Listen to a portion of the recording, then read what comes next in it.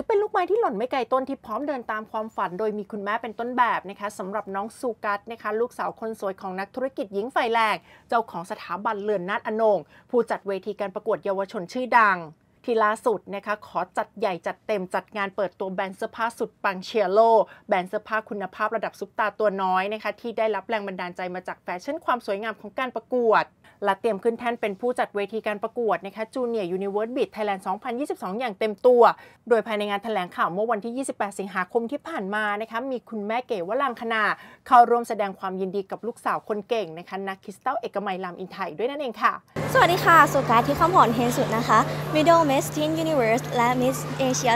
2021 ค่ะ เป็นผู้จัดการบริษัทเรนาอนงค่ะ แล้วก็เป็นเจ้าของแบรนด์ชีเอโ o ด้วยค่ะ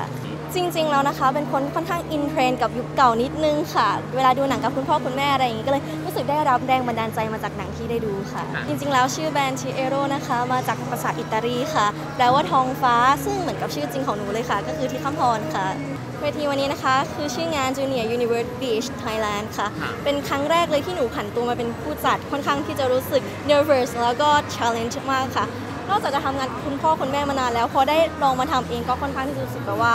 ว้าวนี่มันคือการทำงานจริง ๆ ของเราแล้วหรืออะไรอย่างนี้ค่ะ จริง ๆ ค่อนข้างกดดันค่ะกลัวว่าอาจจะได้รับผลกระทบออกมาแบบไม่ดีหรือเปล่า แต่ว่าพอมาถึงงานจริง ๆ ต้องขอขอบคุณผู้ปกครองทุกๆท่านเลยค่ะเพราะว่าผู้ปกครองทุกคนให้ความร่วมมืออย่างน่ารักกันจริง ๆ ค่ะ concept ก็คือตามชื่อเลยค่ะ Junior Universe Beach ใช่ไหมคะรอบนี้เป็นรอบ audition ก็เลยจะใช้เป็นการชุดราตรีกับชุดสูทค่ะ ส่วนในรอบ final ก็ต้องติดตามกันต่อไปค่ะ ก็รู้สึก ดีใจค่ะ แล้วก็ภูมิใจคือจริง ๆ น้องก็ตัวน้องเองอะค่ะ ก็ประกวดมาตั้งแต่เด็ก ๆ อยู่แล้วนะคะแล้วก็ตามคุณพ่อคุณแม่ไปทำงานในทุก ๆ ที่ วันนี้ได้เห็นเขาประสบความสำเร็จในการจัดงานก็ภูมิใจในตัวเขามากค่ะ ก็